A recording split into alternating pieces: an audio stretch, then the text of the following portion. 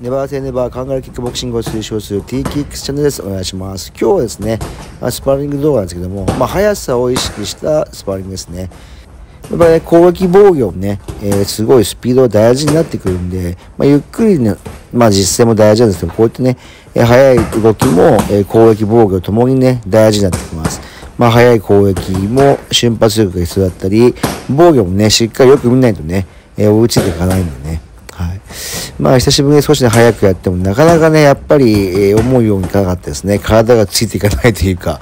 うんと、見えてるんですけど、やっぱりね、反射神経がまあ、やっぱ、言い訳になっちゃうんですけどね、年齢ともにやっぱり低くなるなっていうのがありますよね。動きもちょっとやっぱりね、スピードがないですよね。でカウント今合わせたんですけど、まあ、多少見えるんですけどね、自分の攻撃は見えるんですけども、やっぱりこう、タイミングと体の、が合わないんですよね、やっぱりね。ちょっと、あれですね。うん。今の空振るってことはやっぱりスピードとね、こう感覚が合ってないんでしょうね。まあ一応これ見ながらやってるんですけどね。まあ、パリも見てパリするんですけど、なかなかこう反応が遅いですよね。ワンテンポずれてる感じがしますね。まあ感覚でやるしかないですね。まあこの辺はもう疲れてますね、動きが。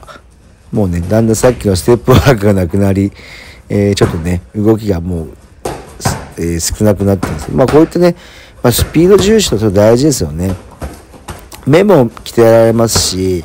えー、早く動くっていうのは結構ね、あの体力も、えー、瞬発的な筋力も大事になってくるし、判断力も大事になってくるんですよね。だからそういったスピードの中で、えー、いろいろとね、体を動かす、頭を動かすっていうね、練習もぜひね、やってみてください。まあ、ゆっくりやるときはね、ゆっくりやるあのメリットもありますけども、まあ、早くやることもね、すごい大事になってくるんで、ぜひね、えー、早いスパーリングやってみてください。それではまた次回お会いしましょう。